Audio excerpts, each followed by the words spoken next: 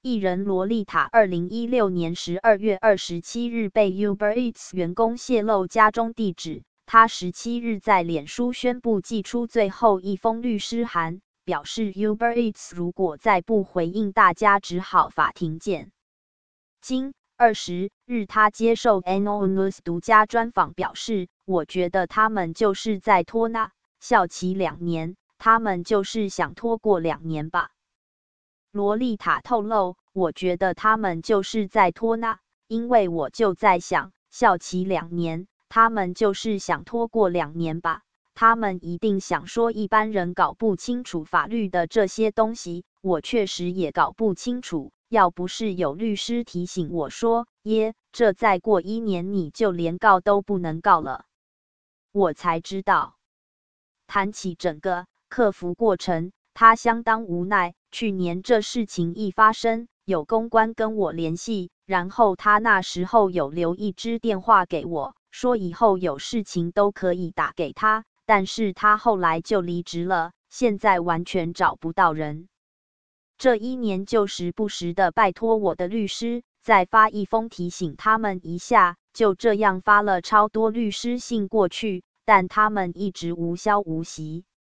罗丽塔一向有话直说。很受粉丝喜爱，图斜线翻摄自脸书。二零一七年十一月二十日，在怕超过法律效期及愤怒之下，他请律师发了最后一封律师信过去，看对方如果他还是想摆着的话，我们就会提告了。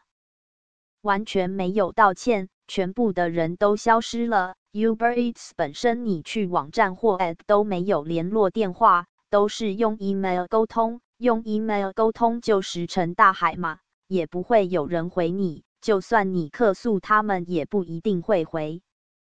谈到去年事发以来他的心情，一刚始是愤怒，后来对方见媒体报道，派出公关摸头，他当时还觉得蛮开心的，觉得对方有诚意要处理。没想到后来就是一封封又去无回的律师信。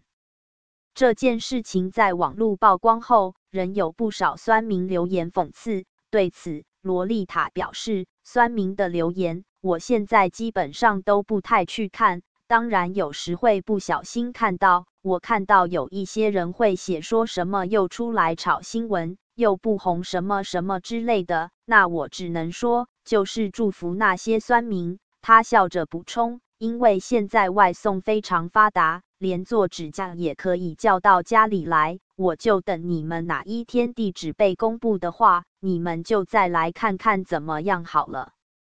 我觉得那些人很奇怪，都没有就事论事。